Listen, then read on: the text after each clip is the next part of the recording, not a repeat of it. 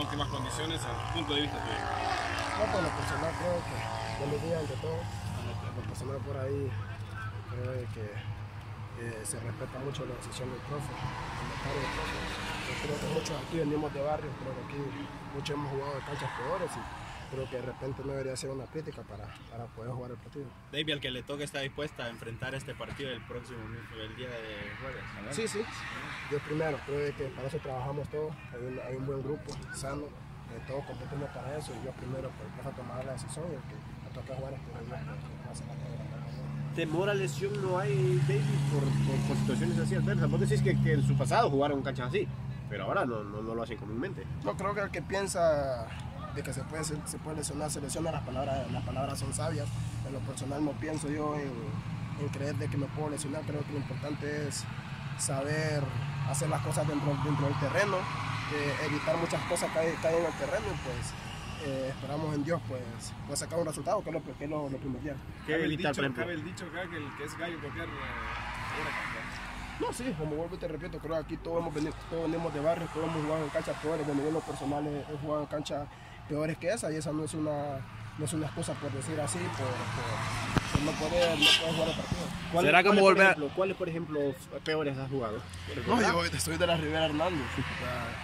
son muy- canchas muy, muy feas, eh, con piedras. Eh, en mi entonces, cuando estaba en, ma- ma- más, chico, jugué canchas peores en San Pedro. Creo que eso no es una excusa. Será como volver a la infancia entonces, Pues podemos decir que sí, podemos decir que sí en lo personal, pero bueno, lo importante aquí es sacar el resultado, Dios primero se pueda dar y, y, seguir, y seguir, seguir sumando, que, que es lo importante. David, pero esto no se está dimensionando, ¿verdad? Porque sabemos que un torneo como Copa debería jugarse en, en estadios decentes, por lo menos. Bueno, eso ya no queda en mí, eso ya no queda en mí. Nosotros como jugador, nosotros lo que, lo que hacemos es jugar dentro de la cancha, ya lo demás, pues lo- los, los directivos y, y el presidente tomarán, tomarán asunto. La forma ¿qué- de juego, la forma de juego, perdón, la forma de juego es distinta porque quizás no se puede jugar a ras de pasto por las condiciones. Sí, por ahí sí, por ahí sí, pero vuelvo y te repito, por lo importante aquí va a ser de que, que sigamos poniendo en práctica lo que, lo que venimos entrenando, lo que el profe nos ha dicho. Y lo importante aquí, como vuelvo y le repito, creo que es resultado, creo que es, es ganar. Ahora David. es de uno de los pilares ¿no? de del esquema de Naum Espinosa, es titular ya habitual en el esquema de, de Nahum.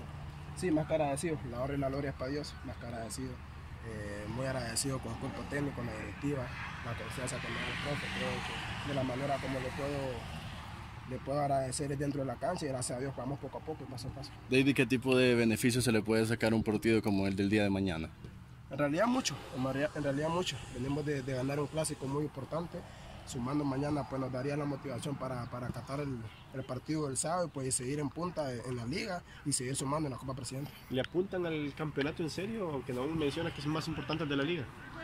Creo que todos los campeonatos son en serio. Creo que todos los campeonatos son en serio. Es es una institución muy grande que se prepara para, para pelear todo, todo trofeo, todo, todo campeonato. Y Dios primero, pues esperamos pues, sumar de a poco y ir paso a paso y empezar a hacer la cosa de la mejor manera. ¿Cómo define lo que has hecho hasta el momento en la temporada? Por ahí muy bien, gracias a Dios. Muy bien, gracias a Dios. Pero vuelvo y le repito, esto es, esto es el inicio. Todavía falta mucho por mejorar, hay muchas cosas, muchas cosas por mejorar. Vamos, vamos de a poco, vamos paso a paso, agarrando el nivel, eh, haciendo las cosas que el profe pide y, y sudando la camiseta. ¿Sería un fracaso quedar fuera de la Copa Presidente para Olimpia?